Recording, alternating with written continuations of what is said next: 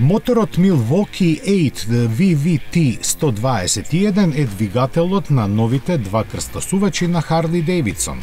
Неговите два цилиндри во V формација по 45 степени имаат зафатнина од 1977 кубни сантиметри, променлива контрола на вентилите и нов систем за ладење. Од него излегуваат 117 конски сили и 183 ньютон метри вртежен момент. Новите модели имаат оптимизирани облоги со интегрирани отвори за вентилација и препознатлив LED светла, во кои се интегрирани трепкачи. Предниот браник е многу тенок. Резервоарот собира 22,7 литри, а неговите горни рабови формираат визуелна линија со стандардните странични куфери.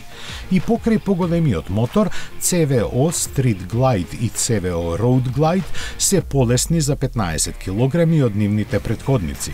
За прв пат Harley Davidson нуди три програмирани режими на возење – Road, Sport, Rain и можност за две поставки што може индивидуално да се se.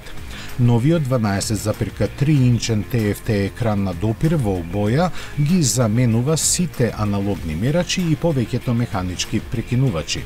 Дисплејот нуди три опции за приказ и е компатибилен со паметните телефони.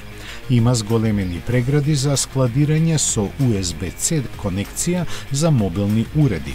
Згора на тоа вметната аудио систем Rockford Fosgate од 500 вати со 4 звучници.